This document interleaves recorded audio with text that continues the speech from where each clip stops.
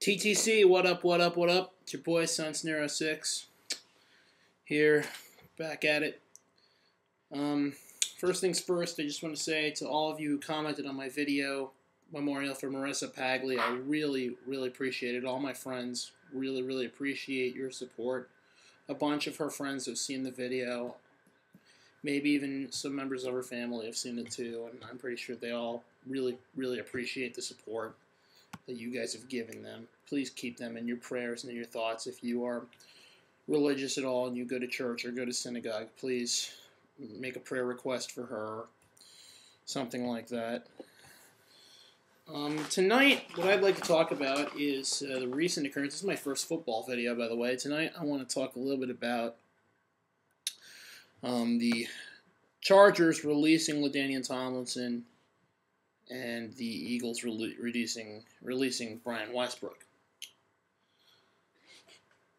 I'm a little surprised by both moves. First of all, because you know these guys have been faces of the franchises that they've been parts of for the last several years, respectively with the Eagles and the uh, and the Chargers. But then again, after looking at it, I'm really not surprised. I mean, teams need to go in different directions if they want to get to the ultimate goal, and that's win the Super Bowl. And every team has to unfortunately release that kind of star franchise player at some point. It happens in every sport. And uh, here it's no different. I mean, Westbrook, great running back. As a Giants fan, he gets on my last nerve sometimes. But you know what? I think unfortunately it was time. He was getting hampered by injuries. He barely played this season. His production was a lot of times way down, and I think the Eagles have decided that it's time to hand the ball over and hand the torch over to LeSean McCoy, who they think is going to be their new franchise running back. And for one, I agree with the move. I think, you know, Westbrook will find a home somewhere else. And, uh, well, it's unfortunate for a bunch of Eagles fans because he's always been a fan favorite in Philadelphia. Um, it's time. It was just the time. The time was the time was right for this to happen. And unfortunately for you Chargers fans out there, the same goes for Tomlinson. Um, yes, he's a fantastic running back, but let's look at it this way: for the past couple years, he has not been the LaDainian Tomlinson that we know and that we love. His production has been way down. He was averaging maybe three and a half yards a carry. I mean, it's not only very unlike him, it's very below average for most good NFL running backs. It's three and a half a carry. In addition, he's been battling injuries, and you've got another great back there in Darren Sproles, and you've got a couple other good backs. So it's it was just time for it to happen. I mean, other teams have done it with other players as well. I mean, the Giants did it with Antonio Pierce, and it was just it just the timing is right. Now, what I what I want to ask you guys in TTC is where do you think these guys will end up? Where I think both of them will end up is on teams that are kind of desperate to make a splash.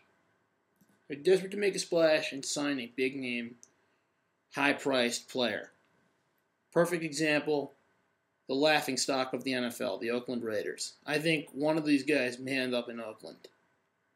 As much as they may not want to end up in Oakland, because I think some of these guys would rather go to a championship contender, and I think some of these championship contenders will be looking for them. I mean, one team I can definitely think of that might have interest is the Patriots. I mean, their running game has been hasn't been the best lately. You can correct me on this if I'm wrong, but I think they need a big name running back if they want to get back to being the team that they were two years ago before losing to the Giants in the Super Bowl. Um, I think another team that may be looking for a big name player would be maybe to augment somebody like Ray Rice. Maybe the Baltimore Ravens are looking for something like that. Or maybe not. Maybe they found everything they need in Willis McGahee and Ray Rice. And also the question becomes like, what do you want? What do these teams want out of these guys? Do they want them to be a number one running back, or would they prefer somebody to augment somebody who's already there? And if and are they willing to pay the price for just a second string running back? They want to make if that's what they want to make out of these guys. What say you? Basically, what I want to say. So that's all. That's about it for now. And I just want to. I just want to know what you guys think about this and who who do you think is going to go where and what do you think needs to be done. I'd love to hear from both uh, Eagles fans and uh, Chargers fans on this. If there are any out there on the TTC, feel free to anyone feel free to comment on this video and tell me what you think. All right. And uh, also, a little disclaimer, Eagles fans. I may be a Giants fan, but I'm also Syracuse Orangeman, so it's kind of hard for me not to root for Donovan McNabb. So I really don't have anything against the Eagles, except for, of course, when they play the Giants. So that's about it for now. And uh, looking forward to hearing what you guys have to say and comment, rate, whatever you guys want to do. And uh, talk to you soon. I'll be back with another video sometime soon. All right, guys? This is Sunsnare 06, and I am over and out. Peace.